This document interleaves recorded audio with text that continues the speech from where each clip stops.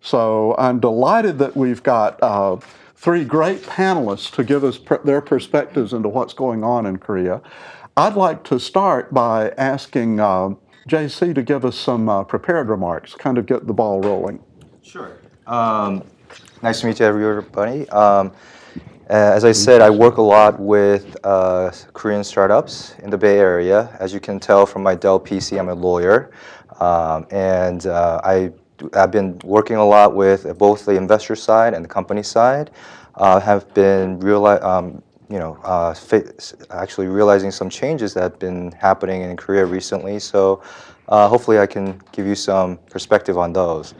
Um, if uh, without further ado, maybe I'll just go into my presentation. So I just wanted to give you a quick overview of the Korean market. Um, it's a top 15 global economy with a GDP of about 1.3 billion, but it is actually the third highest grossing country for Google Play uh, after US and uh, Japan and US. So it takes about, it, it accounts for about 18% of all revenue out of uh, Google Play. Um, it has a very high technology adoption rate and fast changing trends. It, it's very, um, it's, one of the reasons is because the population is very much set for, uh, concentrated in the Seoul metropolitan area.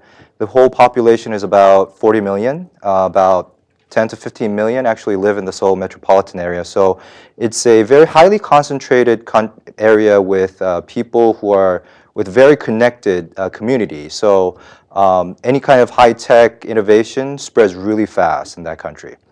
Um, and a lot of focuses on information communication technology um, and, uh, for example, internet services and mobile.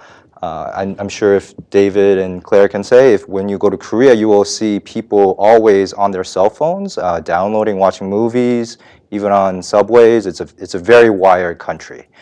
Um, I, mentioned there in, in, my slides that it's a tweener economy, because, tweener market is because it's it's big enough that startups don't have to immediately think about expansion overseas.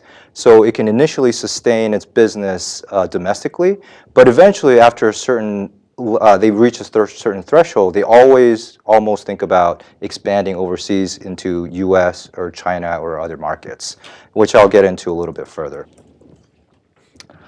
Um, I just wanted to talk about the current governmental government efforts in terms of uh, the new uh, startup community in Korea. The the key word these days is called 창조 which is you know literally creative economy. Um, in the past, the Korean economy was very heavily reliant on chaebol, which is the conglomerates, uh, which was spearheaded back in the 70s by the current president's father, Park Chung-hee. Um, and it's a little interesting that the current president, um, his daughter, is actually trying to create a paradigm that is moving away from that. Uh, in that, you know, she actually wants, and she's uh, been a big proponent of this 창조 경제. So, what is 창조 경제? From a broad perspective, uh, from a broad, broad uh, definition, it just it means that um, the the economy has to change its paradigm from becoming a follower, so to speak, uh, from becoming uh, into becoming a more of a leader in terms of high-tech innovation. Uh, from a lower from a narrower definition, it basically means creating, uh, focusing its resources on certain aspects of IT, technology, uh, and uh, focusing on high growth areas within the economy. Um, and so what have the, uh, the government been doing in terms of 창조 경제? Uh, there's the two things that I think uh, are greatly, uh, I think the fo they're focusing on mostly is government grants and trying to um, foster more of a private capital market, um, which the latter I'll get into the next slide. Uh, in terms of government grants and subsidies, uh, there's there's been a lot of government agencies, both central and local, that have been uh, creating their own programs and funds to um, uh, subsidize a lot of startup companies in, in Korea. And from a central government perspective, they've been increasing the R&D budgets for small to medium enterprises uh, annually. And it was just announced last month that the budget for that has risen to 1.3 billion uh, for the next year. Um, the one thing I, as a lawyer, I still, though, um, I, I still face is that there are still some regulations that are uh, that are roadblocks to um, really truly uh, fostering a creative startup environment. And, that, and a couple of things I wanted to mention is foreign direct investment. So both inbound and outbound, there's still a lot of regulations that uh, that investors have to go through in terms of investing in startup companies. Um, for example, uh, I think uh, one of the things that Korean investors are frustrated is when they do a foreign direct investment, uh, they, they have to report their uh, investment, and one of the things they have to report is the ownership share percentage. Um, and the regulation says that you have to report prior to any change in ownership percentages, which is in this environment almost impossible to do because you know instead in, in in startups uh, from a startups uh, case, those percentages can uh, change all the time, and also it's really hard to know in advance what their ownership percentage is going to be. So that's one of the things that I've been uh, seeing from from a foreign direct investment perspective, and also foreign exchange regulations.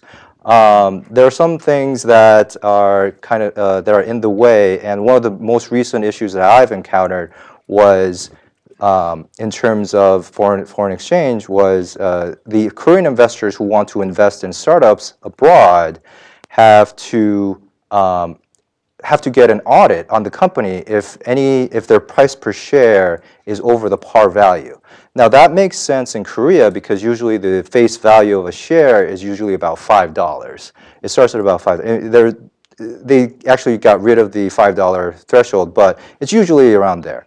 Um, but as many of you may know, the par value in the U.S. is actually very low. It's like usually one point zero point zero zero zero one per share. So most, even the founders don't really get their uh, shares at par value. So um, you know, from an investor's perspective, you know, just to invest, uh, you have to go through an audit of the startup company. And from a startup company's perspective, you don't want to go through a lengthy, costly audit process just to get, let's say, $100,000 in the bank.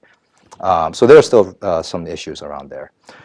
Um, just wanted to briefly talk about the private capital markets in Korea. I think it's still very much lagging. Um, it's getting better, but it's the big driving force in the Korean capital markets in terms of startup investment is still the government-led fund of funds. Um, but I do see some recent changes um, started like uh, be, that is being started by the next generation of entrepreneurs. For example, um, you know, a couple of examples that I gave was K Cube Ventures, which was founded by uh, the founders of Kakao Talk, which is a huge success. It's like the WhatsApp of Korea. Uh, and Chester Company, who's a angel investor, and I think David is a very good friend of his, is uh, he has he actually had he founded a couple companies, one of which was sold to Google, another one was sold to Tapjoy, and he's been an angel investor for the past few years. Um, and you know, there's also been private incubators that are you know starting up. You know, Kstartup being you know one of the most uh, representatives.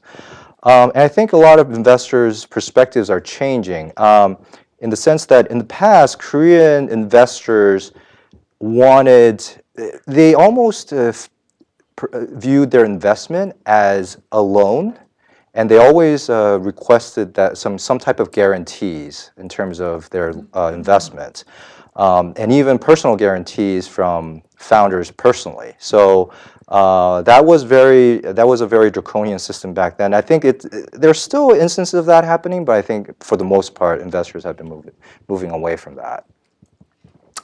Uh, lastly, I just wanted to give you a, a high-level view of the changes that have been happening in terms of uh, global strategy. A lot of startup companies, as I said, in Korea, you can start off just servicing the domestic market, but at a certain point, they all, always want to go abroad. And in, the, and in the past, it was always going to Silicon Valley or bust. Uh, that perspective, that perception has been changing recently in that a lot of uh, Korean companies are looking into other markets, for example, China or Southeast Asia, as their first uh, market entry into outside of Korea. Um, I think one of the reasons is also because you know, uh, there hasn't really been a huge success story in Silicon Valley, um, but and but at the same time, it's also because China uh, and Southeast Asia, to a lesser extent, is a very fast, fast-growing economy with uh, mobile, especially in the mobile space, which a lot of Korean startups are focusing on. Um, and you know, Korea is also creating its own mini eco- ecosystem recently. As I said, uh, the next generation of entrepreneurs are now, you know, creating their, uh, you know, there are a lot of repeat founders. They're, you know, going through their third or second, third or fourth startups, and a lot of uh, successful entrepreneurs you know, are becoming angel investors. Like, you know, like here in Silicon Valley, like David, who has success at Google, uh, you know, becoming an angel investor.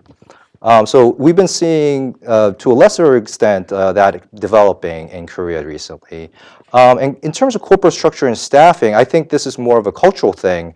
Um, I think in the past, Korea was more of a, they wanted the bigger is better, and staffing wise, they always focused on so called quote unquote SKY, uh, which is the top three universities in Korea. Uh, S, unfortunately, not standing for Stanford, but it stands for Seoul National University, and K is Korea University, and Y being Yonsei University. Um, what I've been recently seeing is a lot of uh, comp- younger companies, for example, Naver or Ticket Monster or those types of successful startups in Korea have been hiring and actually promoting a lot of people who didn't even go to college, who, who've been coding since high school and uh, have a lot of experience and uh, basically good at their jobs. They're, they're no longer just looking at the, the schools they went to. Um, and just wanted to do a quick case study on Memebox Corporation, which is a client of mine. Uh, that's actually a, I think, is a good blueprint for a lot of Korean startups. It's, it's a e-commerce company that sells Korean beauty products, and uh, they started in Korea.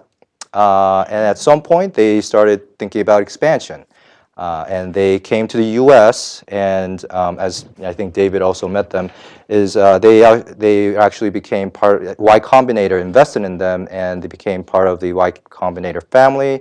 And uh, they they've been just you know growing. Their revenues have been growing a lot in the U.S.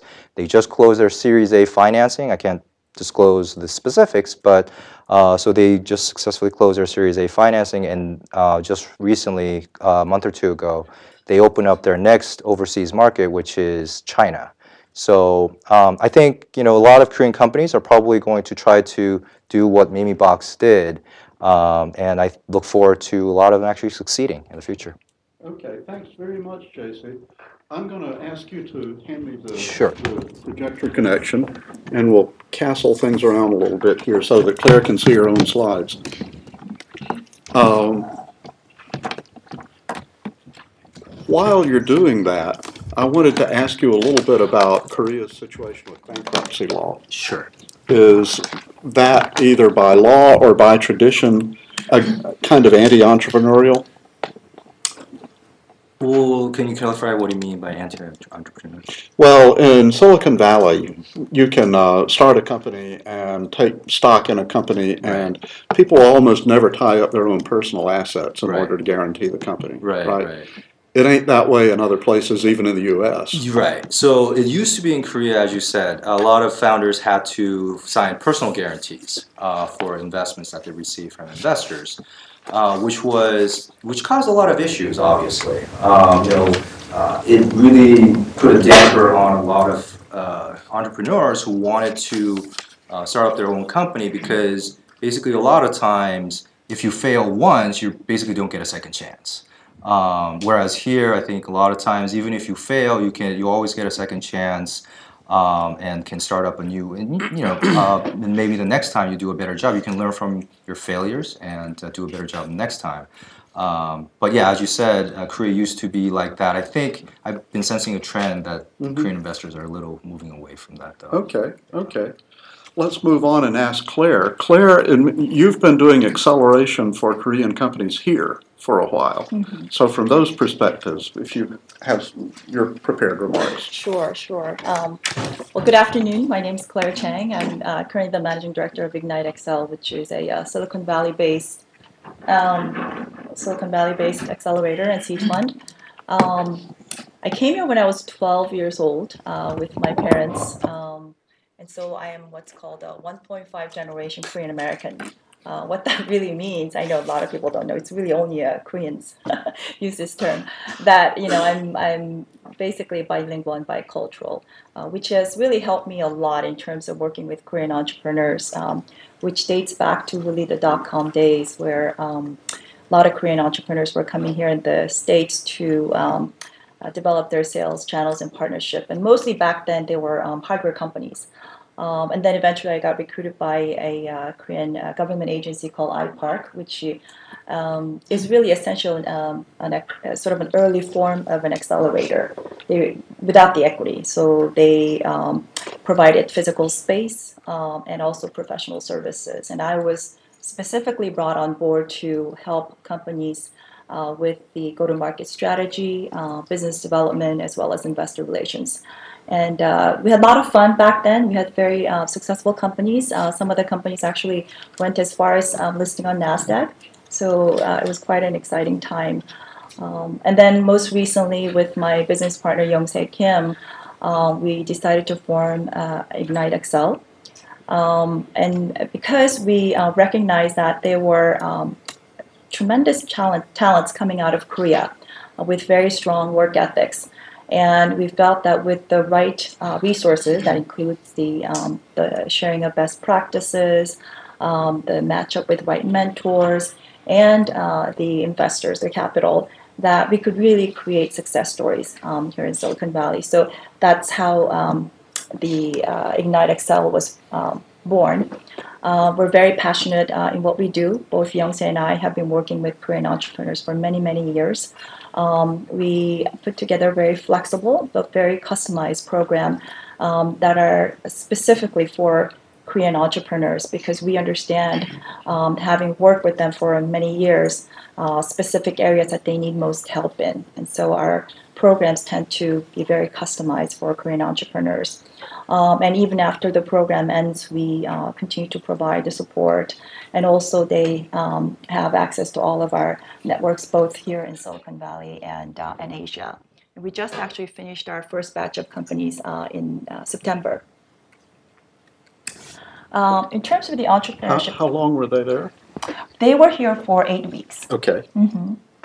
And uh, in terms of the entrepreneurship ecosystem in Korea, um, having sort of observed and being part of this entrepreneurship since um, early 2000, I believe that the entrepreneurship uh, system, uh, entrepreneurship has been robust in Korea really for some time, and I think that's largely due to the the IMF, the, the crisis, the financial crisis back in 1997, where um, many of the financial institutions uh, fell apart. And I think along with that, the whole notion of um, lifelong uh, job security um, notion really um, uh, was shattered, and a lot of the displaced workers went on to build their own companies.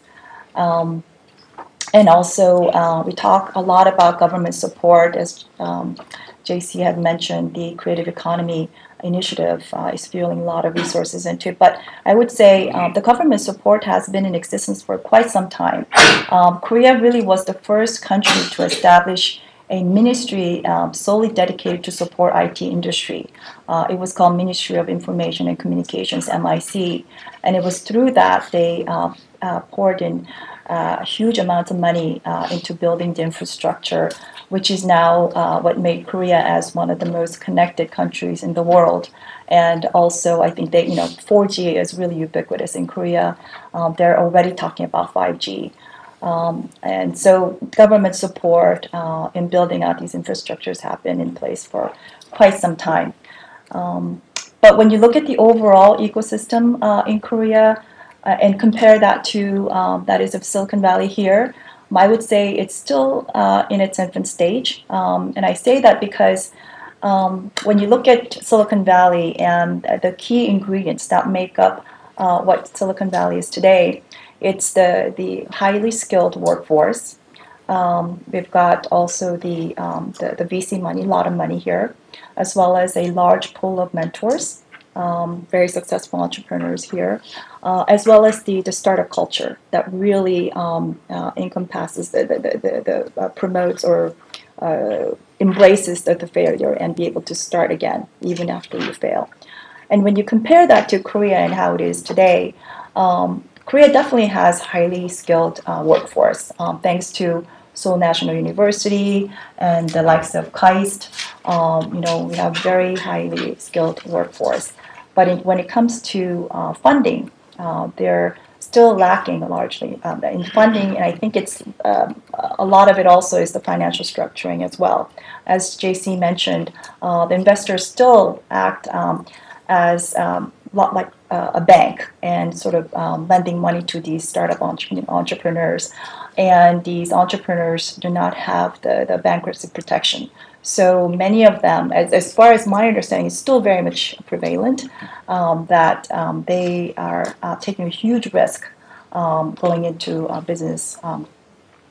and then also um, the lack of network of mentors. Um, I think it's just really recently that we're seeing a lot of these, you know, successful entrepreneurs.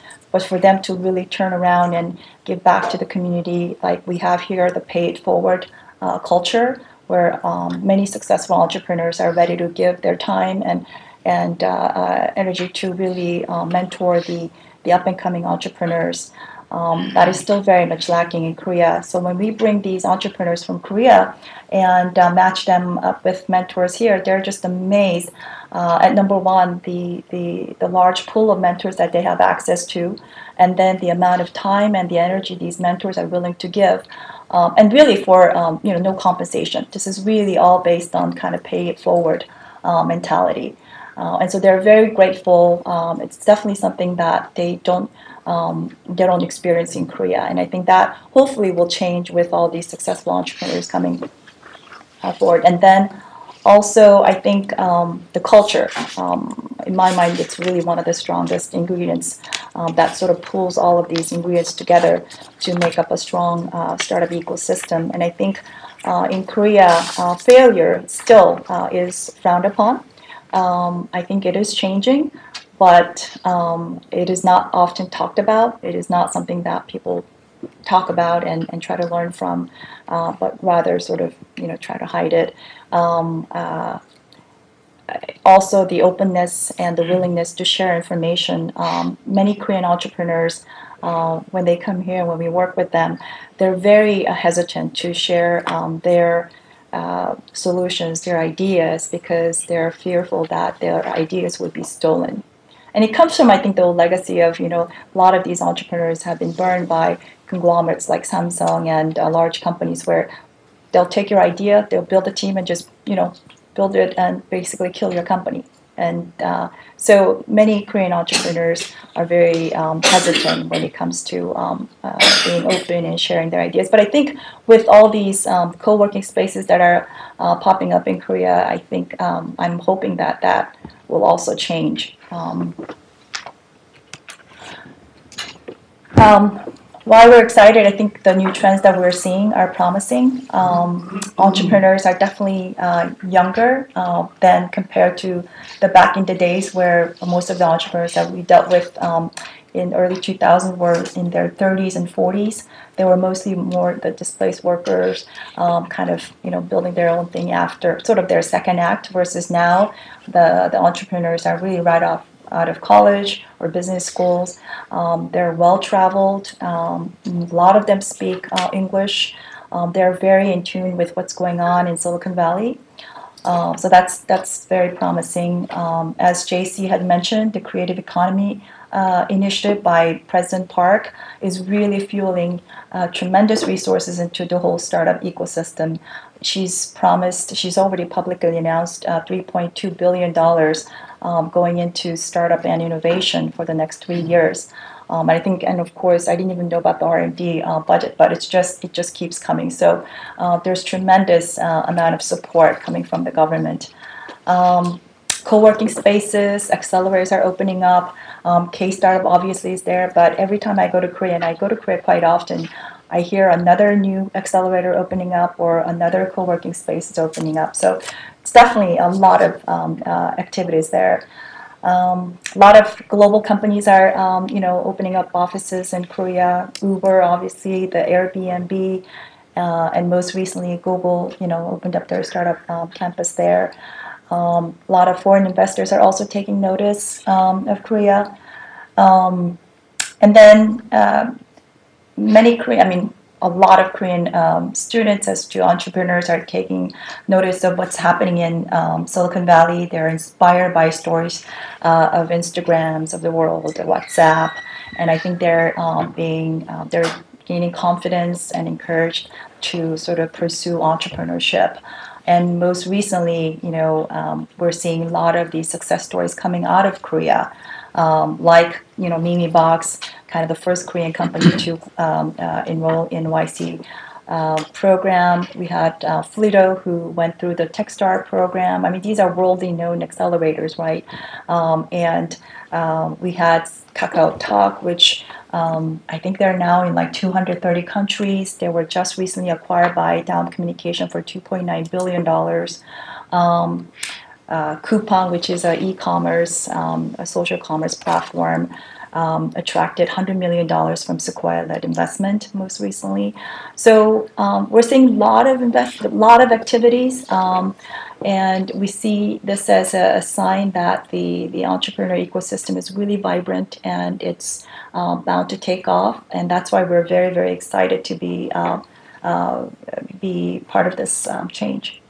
Thanks, Claire. While I'm setting up for David's talk, I've got a follow-up question for Sure. you. And that's about sourcing the companies that you want to put into your acceleration program. Is it different now than it would have been, say, in 2003 or 2004? Uh, and are there special things that you look for in a company from Korea to bring it here to accelerate it? Absolutely. So, uh, going to the selection process first, I would say back in 2003, um, there there were no such thing as um, accelerators, and they were mostly the, the, the one that I was part of was really an incubator that's run by um, and managed by government, and so these companies that were selected to come to the states were filtered by the government Mhm. agency. They did it. yeah. Right, right. So we were not part of that selection process. Whereas now, um, uh, we do take part uh, in the selection process. We actually go to Korea.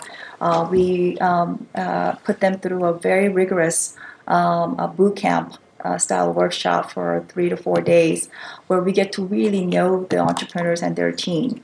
Um, you know, just by looking at the applications, you really can't tell if they are uh, made for success. And so we go through this rigorous workshop uh, in Korea, get to really know the founders, um, and and make the selection. And what we look for really, I think, is um, of course the, the product and its viability for for the U.S. and global market, but also the team makeup, um, their experience, as well as um, uh, the the talents that each team member brings to build a strong team. So one more, a little bit further.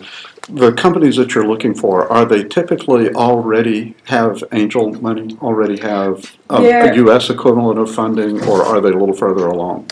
actually um, uh, less further along. So we actually look for more early stage companies. Okay, Yes. okay, great. David? Great. Hello? Yep. Go. I think so. So thanks. Thanks for hanging out till the very end. Um, I'll try to make it as interesting as possible. And thanks to JC and Claire for you know kind of setting the ground. But I think my, my perspective is slightly different, but complementary. So it's more from perspective of you know I, I was born and raised in the U.S. So I guess I'd be 2.0 versus one. I don't know. Year 2.0. Um, and uh, but spending a lot of time in Korea during the past 14 years, uh, both at Google, where I was, and and past. So if you just go going back, you know, I wanted to be a developer when in uh, when I was 13 years old back in the 80s, and um, decided it wasn't for me. I was terrible at programming, but I started writing for a magazine, one of the first magazines that were out there that was covering sort of the PC market. This is when I was 14, and uh, I, I really thought that'd be my career. But then I went into banking, uh, sort of, you know, when you know, being an Asian American growing up here and thinking, you know, that's the way to go, and then realizing that's not, not really the route for me. Most of my friends kind of going into being a doctor, lawyer, or something like that. And then finally, you know, I, I decided to leave and follow, you know, my passion, moved to the West Coast, and you know, entered Google in around the late 2000 or so. And at that time, and you know, this sort of leads up to the story of why we do what we do. It's it was really following sort of the trends that were going on at the time. And my job there was to well, a get the ad sold there, uh, but b to uh, make partnerships overseas and start selling um, our search services and ads to partners that were in different countries. And we noticed sort of this, you know, mushrooming of um, you know users coming in from Asia, where I think back then banner ads and these other type of you know, very traditional ways of, of um, doing business there were, were more common. We eventually rolled open the offices, and uh, the revenue when I was there was like a million dollars in a year. That was you know ex US. You know, last year was over eight billion. So you can see how important for startups, even when I meet them today, looking overseas kind of initially is very important, and why Asia has become a very important piece of their sort of business model, especially for mobile. In 06, I left. I was one of the first to leave. I think at the time when you know Android was growing and sort of you know pre YouTube acquisition. And, uh, and, this is an article about some of us that left and what we were doing. And, and the interesting thing about this map, and I hate putting this up because I look really bad there, but is that a lot of folks, I mean, there's the founder of Twitter, Evan Williams, and you know, uh, you know, Marissa Mayer, and so on, is that that network that we had built since leaving Google has really sort of become business for a lot of us, whether it's investing or you know, doing the next startup. And sort of when you know, one investor that we that we looked at uh, who had left started AdSense, but he also went on to Facebook and created sort of their ad, ad platform. And since then started some funds and started working with a lot of venture companies that were focused on you know the valley, but also looking slowly starting to look overseas. Uh, this is sort of the investments that we've done. And then something else happened in, in 2007. Um, there was uh, this the student from uh, Stanford Business School who didn't speak much English, and he came to me and said, "Hey, you know, you're a familiar face. Um, I have a company. It's called Viki. You know, I'm trying to raise some some uh, funding for it. And what they, what they were doing was uh, sort of like uh, subtitling, but uh, uh, crowdsourcing for uh, for Asian you know, films and movies. And I thought, you know, who's going to do that? And you know, he told me, well, there's a huge community of people that are actually going online and doing this thing. And so it actually snowballed, and, and, and you know, this big company came out of it. He eventually sold the company to Rakuten for about five, $400 million. Another guy below there was from Korea as well uh, and you know went on to raise money, invested some money. He eventually exited to Intel. And what was going on is you'd see these guys who were either educated in the states or spoke English well, and were kind of the first wave, I call it, to actually come to the U.S. and you know start raising some money, and the first taste for, for investors here of you know Korean entrepreneurs. Um, but I think if you drill down even more and kind of look at, you know at, at the sort of motivations and, and, like the people behind it, it's all about culture, as, as Claire was saying earlier. If you look at part of that first wave in, in 2000, there are roughly about 1,200 uh, companies that were funded by, um, by uh, Korean angel investors. And, uh, and you can see the drop off, I mean, in 2010 or so, and why, if you look at the, uh, this, this, the uh, graph on the right, the government's been um, matching these funds. So a lot of these investors that are putting money into startups, the government's coming in saying, I'll match you two to one or more in order to create more jobs, in order to create more startups and be more friendly. That's because the private or venture community has been very much hands off, and most of the VCs in Korea are funded by is funded by the government.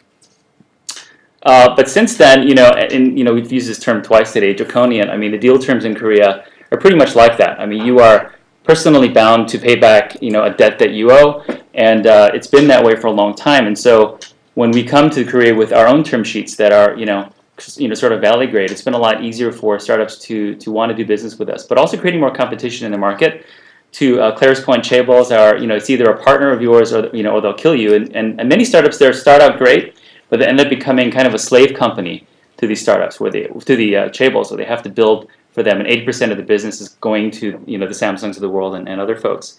Although things are changing. And finally, exit. I mean, it's very hard to um, exit in Korea. I think this year there's only a few companies that are actually going to go public or beyond that. And part of its culture uh, you know, you talk to my friends at Samsung uh, Innovation Center, they're saying it's like manufacturing mindset.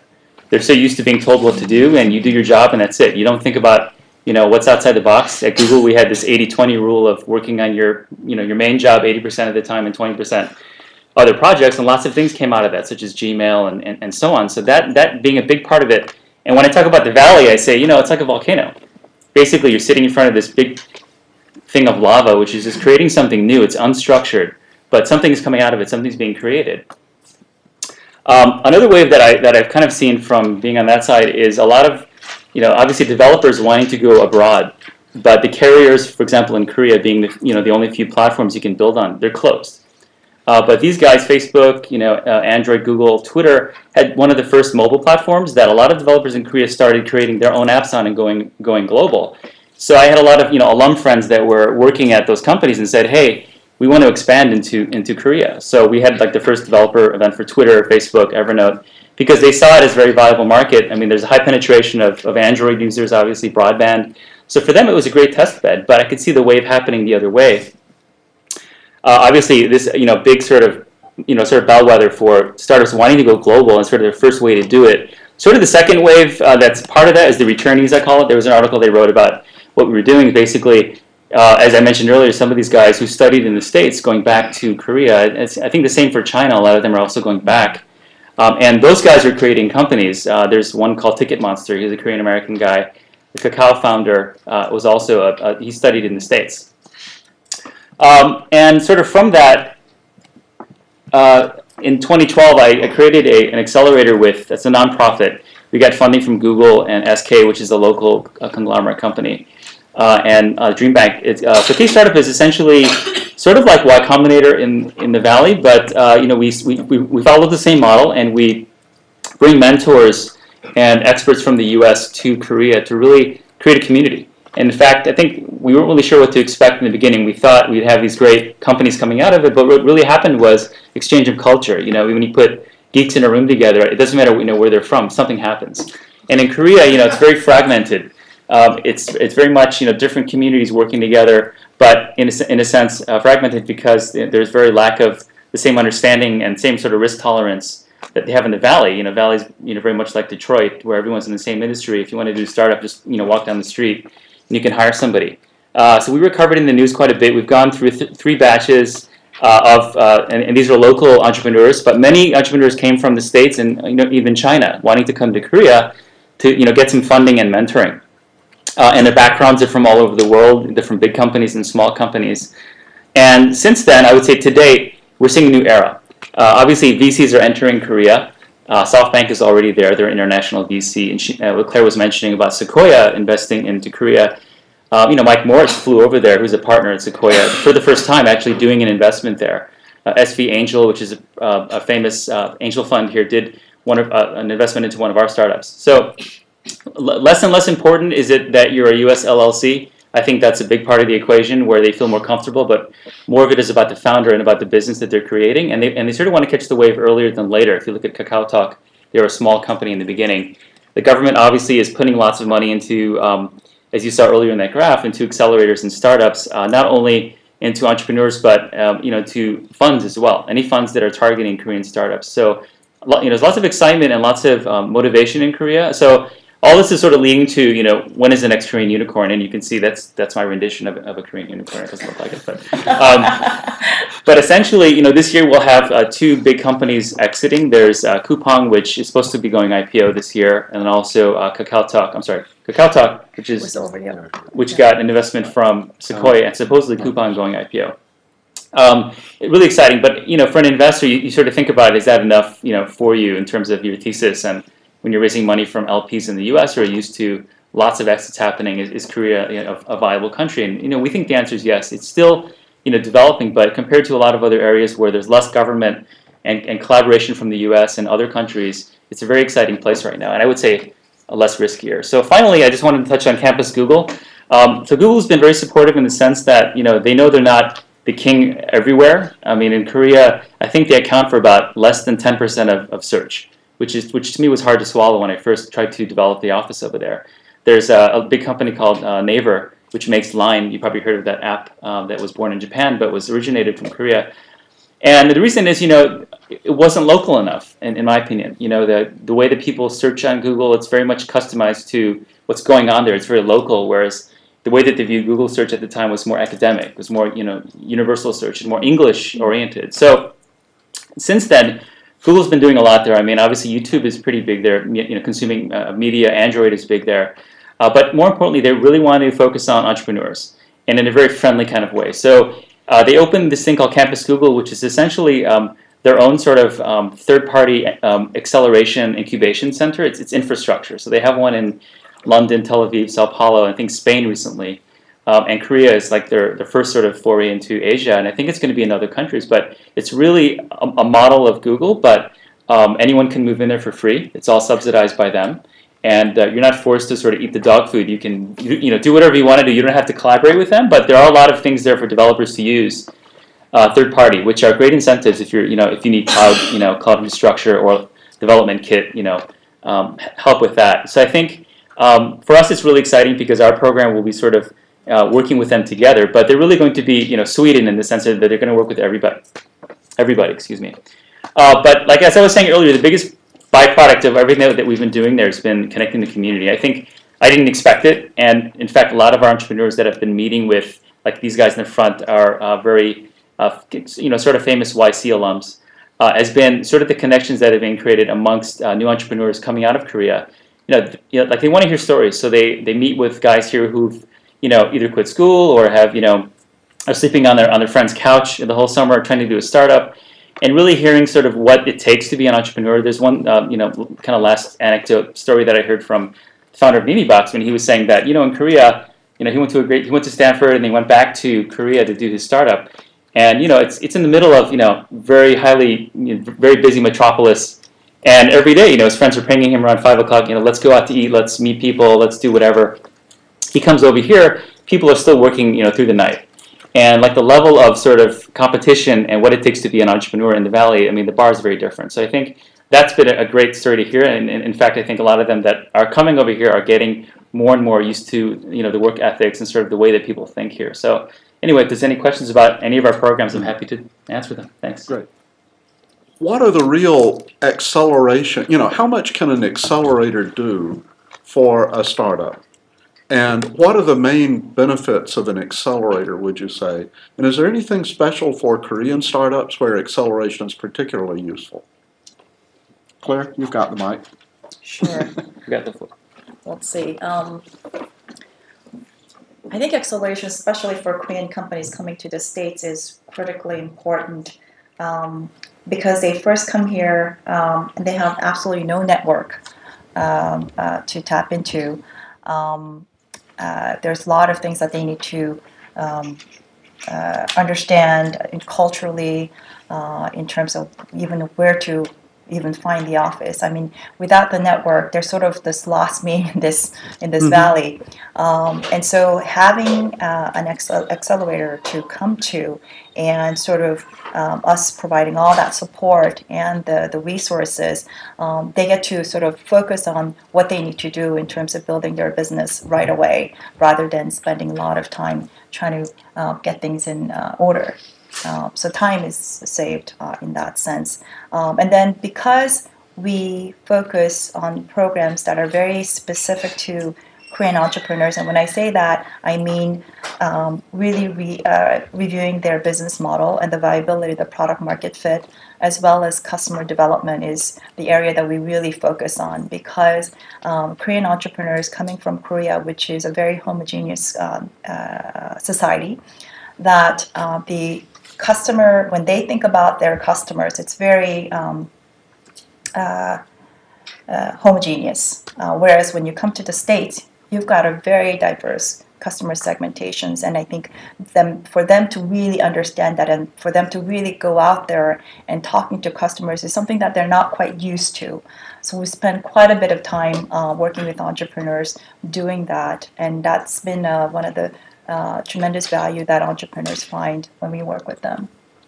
David? Yeah, so in my case, I mean, the difference between uh, the ones that show up in our program and maybe the ones that come here is, is pretty big. I think, you know, like a lot of ours are very raw in a sense because uh, a lot of them in our program, we, even though we screen, I think, to make the jump to the US, and I showed two guys earlier who came that the difference between those those founders are, are big. I mean, um, coming here not knowing anyone, or going into her program and being away from home, and shows that you're really ready to be an entrepreneur. And I think that's where in the valley, most of the people here that are in that, are thinking about being an entrepreneur are already sort of at that baseline. In Korea, on the other hand, a lot of them like the idea of it. So you know, we'll meet them, and many times we'll sort of find out that maybe they're not ready yet, and because um, it takes a lot, right? Than just an idea, it's like execution and planning and all this other stuff. So first is assessment of whether they belong there, and then once we we kind of find the ones that we think have some potential, it's really thinking about the market. Because one thing when they're there, I mean, your backyard is very easy to sell in, and now what we're seeing also is this cross Asia thing. So I mean, China's one an hour flight, Japan's an hour flight. Why not focus, you know, sort of launching there first? versus totally localizing your product for you know the U.S. and spending more money. So I think the reality must be taught, and and also the obviously the cultural part is important because you know I just think the hand-holding part is bigger there with more unexperienced entrepreneurs than here, where people want to be independent and they're like, great, help me out, but you know this is my company. Versus there, great, can you be an advisor? And then I'm going to email you every five minutes. Um, so I think the scalability thing comes into play, but um, I think they're learning quickly, and you can see this sort of, you know, catching up happening. Okay. So one more follow-up to JC this time. And this is really about the Korean government money, because that's been mentioned, you know, several times in this session already. How does it really work? Are these grants that, like SBIR grants, that the Korean, the startup company applies for, or does the investor apply for the money? What, what kind of programs? So it's it takes a lot of different shapes and sizes. Um, the most uh, typical way is companies applying directly for government grants. Again, they can come from the central government. Even then, there are different ministries that could give the grant. Or they could also come from local governments where you apply for a grant from a local government.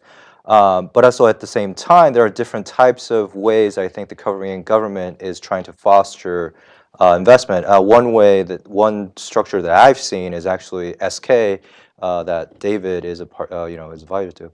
Um, so, for example, the Korean government would uh, contract with SK, and they would both they would jointly, let's say, for example, hold a competition, or you know, they would select certain mobile game companies that they think are good enough, and then SK would then publish their games through T Store, which is you know the, the biggest like one of the Google Plays or iTunes in Korea, um, and the cost would be shared, let's say 50-50 of that.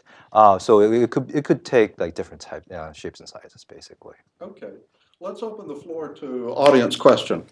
Jack? Yeah, Richard, uh, thank you. Uh, Terrific panel, and this has been really helpful to me to understand where Korea is. But a little clarification from you or the panel, maybe. Um, It sounds like the only entrepreneurship in Korea is software.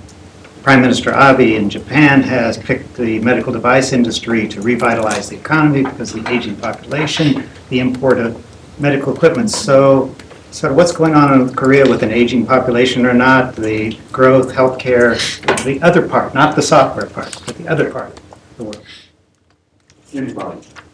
Oh, You go first, I'll say something. Yeah, I mean, this is.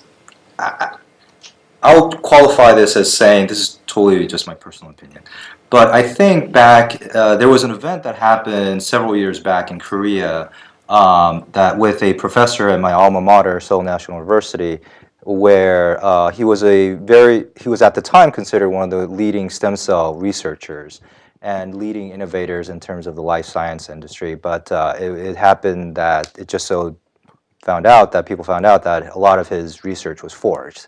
Um, so that really put a damper in terms of life science uh, in Korea. Um, and I think also the the whole focus on software also um, started from the late 90s when the government put a very particular emphasis on um, basically wiring up the country. So Korea has always had the highest percentage of high-speed internet and mobile, uh, you know, connectivity in, in the world. And I think a byproduct of that is people have been, you know, very focused on developing products that are compatible with the infrastructure that's in place in Korea. Um, so that's just my view of how, how it became. And again, you know, Korea, its its its economy is big, but it's not. You know, it, it takes. I think it's still. I think Samsung actually is trying to focus more on medical device. I think I read somewhere that uh, that's one of the areas that they're trying to uh, venture into next. Uh, but I think at- I think it's going to take a little bit for Korea to get there. Um, that's just my thought. Yeah. I mean, most of the um, sectors that we look at, they're sort of mimic in many ways the uh, you know the sort of IT sectors we see in the U.S. I mean, obviously there's a little bit more crossover from healthcare, whether it's like Internet of Things or wearables and medical devices. But I think for them it's a smaller market and it's pretty much dominated by the chaebol companies.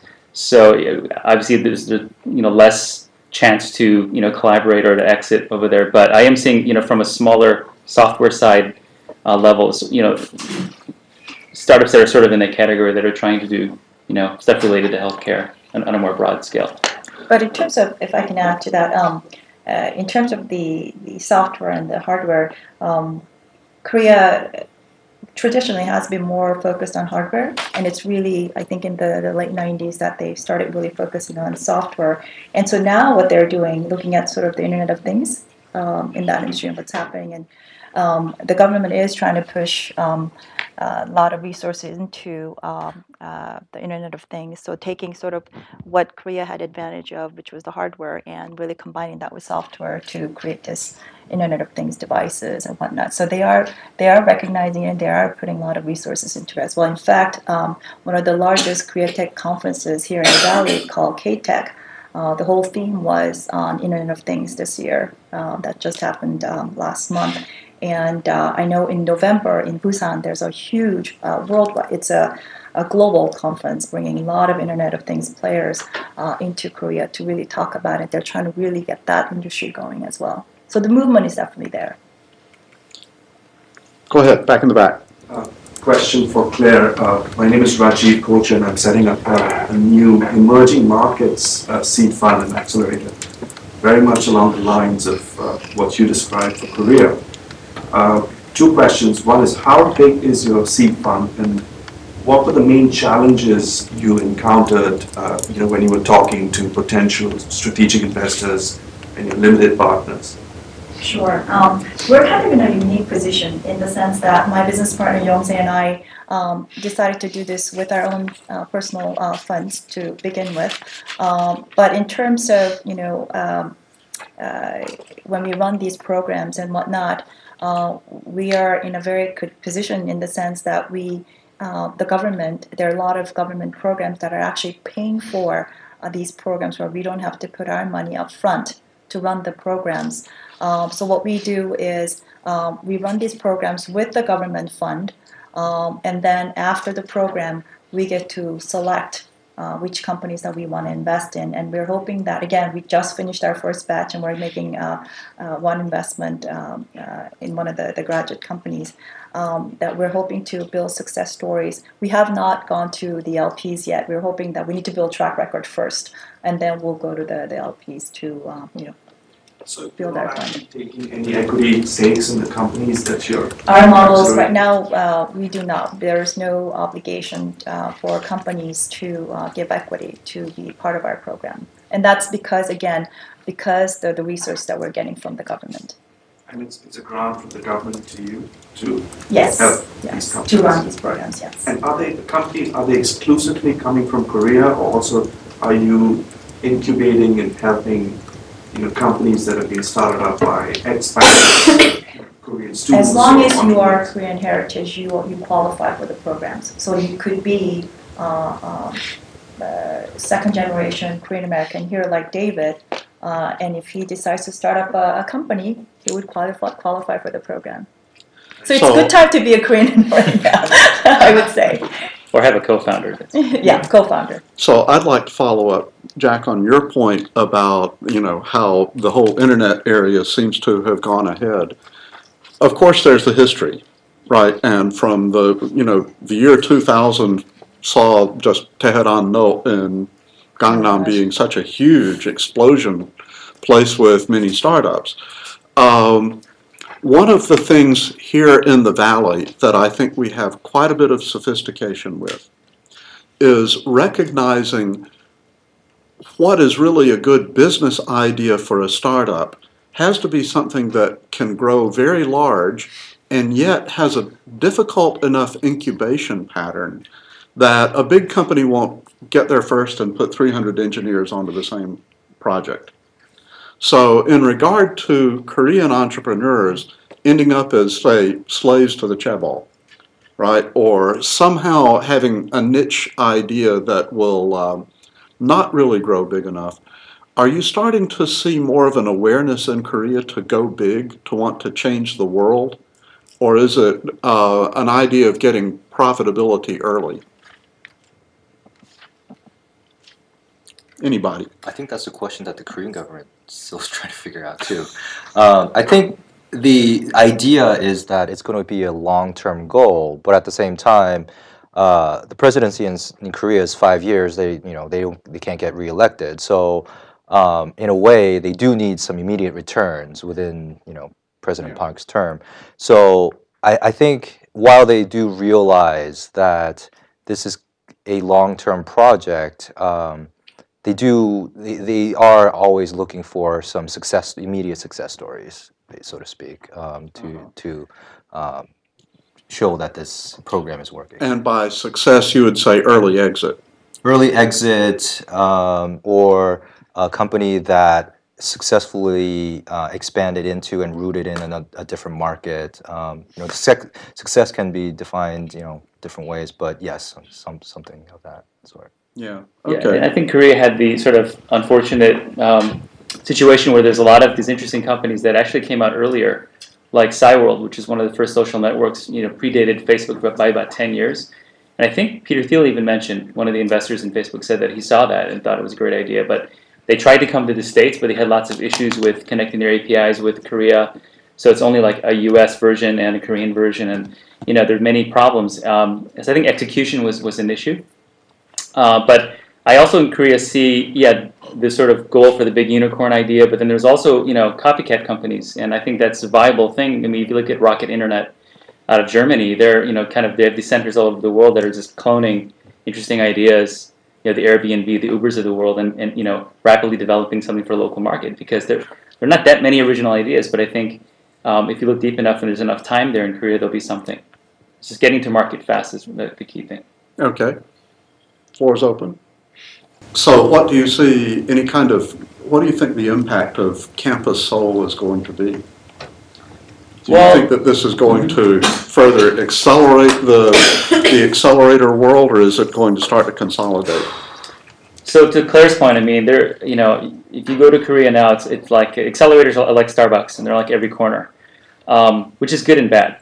I think it's good because people are, you know, the the whole risky feeling of doing something like a startup is less.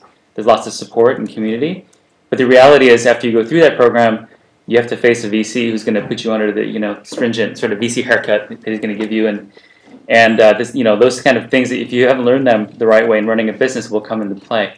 Um, Campus Google, I think it's the interesting thing about it is, you know, um, that they're trying to support more on the infrastructure side, you know, and, and I think um, less on the you need to do what, what we want you to do kind of thing. And, and if you look, there's one in London that's already doing very well that has several um, third-party accelerators inside, such as and, and, and, and um, other ones there. So, and it's been a, it's been a good model for the other um, um, Campus Googles, but I think if, you know, Google, I think for Google's cause, it's, it's, um, it's good branding and it's also just a good way to kind of give back to the community. But from a market share perspective, you know, it's you know they're not as strong as the other players, so it's it's going to be sort of one you know rung in the ladder. And I don't know if there was an actual uh, push from the government uh, for Google to do this, because I know that with the UK, they, there definitely was a, um, a pressure from the government to sort of fuel the, the tech startup scene uh, in, in London. And so Google did open up, and I believe in their second year, they had over 22 22,000 members um, in that campus. And so I think that's kind of what we can, regardless of whether it was um, created because of the government push or not, um, I would definitely think that you know there would be a lot more entrepreneurs um, coming out of uh, Korea Yeah. because of Google Campus. So I got to ask a China question. And uh, all of you are working with Korea really from Silicon Valley as a base. So are you seeing Silicon interest in Silicon Valley going down along with interest in China going up, or is Silicon Valley part of a glo- overall global strategy From a career perspective, from a career perspective? Mm-hmm. I think the you know Silicon Valley is still you know the center of the universe if you're working in tech anywhere. I mean, at least mm-hmm. that's what I've seen there. Um, because I think you know they they're aware of the cultural differences and you know the exit possibilities and talent. I mean, it's a mix of so many people and, and uh, ideas. Um, but that being said, I think when they arrive here, and she could probably attest to this, you know, there's a culture shock for them um, if you don't know the right folks and they don't know you and you don't speak English well. Um, many of mentors that we send over from here, um, whether they're from you know a big name VC or an angel, they'll always say the same thing: it's communication is important. You know, your English has to improve, and you know, at first it's hard. It's hard love, right? But it's very important. Communication is really important with your investors and your co-founders, and if you're going to go global, uh, that kind of thing comes into play. Um, but China is becoming a bigger and bigger presence in Korea. Like when we have demo day, we see a lot of Chinese investors showing up, and you know they, they come there, you know, uh, with olive branch in hand, and you know have great terms and are really willing to work, you know, in a very great way together with Korean startups. So I think that shadow will continue to get big, but I think what we have going for us here is going to be lasting and be the sort of benchmark for a long time. I, I, oh. Yeah, no, I, I was just going to say, I, I do agree. I, I don't think the interest in Silicon Valley is dwindling. I think it's just a matter of um, they're not really just focusing on Silicon Valley. Uh, I, I know a lot of companies, for example, uh, Qualcomm Communications, they're focusing more on Japan. Um, just because, you know, as I said, you know, you know, Japan's actually the biggest revenue generator in terms of Google Play. So if you can make as much money elsewhere for now, I think a lot of companies are, you know, considering that as a business strategy. Um, but at the end of the day, a lot of them do consider succeed, suc- you know, succeeding in Silicon Valley as the ultimate goal. It's more like, you know, you can make as much money in the Japanese baseball, professional baseball, but, you know, if you make it in the major But it's not like make it in the big Yeah. leagues. it's- Yeah, it's- it's it's- still very, yeah, very true. I think Silicon Valley still uh, means as the, the top destination for uh, startups to go and, and succeed. Um, and I know that I've heard from even um, Chinese investors that if um, rather than going direct to China or uh, uh, looking at companies to invest in China, if they've gone through Silicon Valley and have some traction in Silicon Valley, they're much more likely to get investment because they're um, uh, having having uh, uh, traction in Silicon Valley really means a lot in terms of the credibility. Uh, it's just sort of like an endorsement uh, for investors. So um, Silicon Valley, I think, stay, will continue to play a big role. Okay. especially if they're from Stanford. Especially, yeah. So I had one of these programs with, oh, I'm sorry. Uh, well, I had a question for Claire. My name is Charlotte Thornton. Uh, what, when you bring the people that have gone through the the boot camp that's, that's somehow governmental formed and so you bring your group over here, from the perspective of the com, you know, the, the company that you're gonna accelerate, um, are they, do they, do they get what they expected or what, what are they expecting? And, and how many of that group are women? Oh, good question. Okay, so um, um, we are seeing uh, more and more women entrepreneurs, and that is something that even Korean government is trying to push. So one of the programs that we ran last year, there was a special um, uh, incentive for women entrepreneurs. So they would get, uh, uh, you know, if you had a woman co-founder, um, you know, you had more chances of getting into qualifying for the program. Um, so there are implementing a lot of different um, in, uh, incentives to attract more uh, women entrepreneurs. But still, at the end of the day, you know, women entrepreneurs are still minority. Um, in terms of the expectation, um, it really varies. Uh, one company that one entrepreneur that we um, had um, qualified to join our program this year, there were some issues with the other co-founder, and so the the uh, the the engineer, the CTO, the co-founder, uh, decided that he's not going to come. Um, but then the the um, the other co-founder, um, she was more of a marketing. She was more of the um, strategist, but she doesn't have anything, you know, in terms of the engineering background. And so, you know, we basically had to make a decision. Hey, if we're going to accept, if we're going to accept one, because they, they could not get along, right? that we had to choose one. We're going to choose a CTO because he's got the, the product and he's the one who can actually develop it, right? But when we talked to him to convince him to come, he actually didn't want to come because he has joined. He had joined uh, a similar program before, not not uh, in the states but in Korea, and he just felt that it was a lot of um, uh, time wasted. Uh, he felt that he was distracted, um, and that he really wanted to focus on you know further uh, building his uh, product. And uh, we convinced him uh, that we had all these, you know, uh, mentors lined up uh, because we had already studied the, the company and we already had mentors lined up and all the resources um, ready to go. Um, so he, we were able to convince him to come. And at the end of the program, and I don't think he was really saying this just to, you know, uh, make us happy, feel happy, but he really genuinely felt that the, the time that spent uh, were worth it. He learned so much. I think hearing and seeing uh, what's going on in Silicon Valley from Korea versus actually being here, feeling the pulse, you know, interacting with local entrepreneurs, is just it's a day and night uh, difference. And so he was um, tremendously grateful, um, and he now is pursuing the U.S. market after the program. So I have a, just to add on. Real I quick, don't, I don't ever hear anybody talking about like taking Americans so that they get adjusted to go over there. Ah, Actually, we'll have that a little bit next week with China. Okay. So that, that is an our overall Asia thing. But uh, in terms of getting U.S. companies into the Korean market, JC, maybe that's one for you. Um, yeah, I, think you don't really see as much. Uh, I think it's it happens more on the bigger company level. Like for example, like Google trying to penetrate Korea, or Yahoo, or you know Facebook, um, LinkedIn. I, I know a lot of the big companies are making a very big push into going to Korea. Uh, I think a lot of time, well, you rarely, if ever, see, let's say, a small start, U.S. startup uh, trying to go into Korea. Um, I think there are many, many reasons why. Uh, probably one of them being that the market is just not big, and if you, it's it used to be a test market just because again it, it's a very wired country, but I think there are some cultural cultural differences. And so I think that test market's been shifting towards Australia and some other countries. Um, but uh, I think you, you you would see a lot of uh, big valley companies going into Korea, but rarely do you see you know, startups go, trying to go into Korea. Yeah, I think rather than that, what you see instead of market expansion, you will see kind of working in both places at once. Right.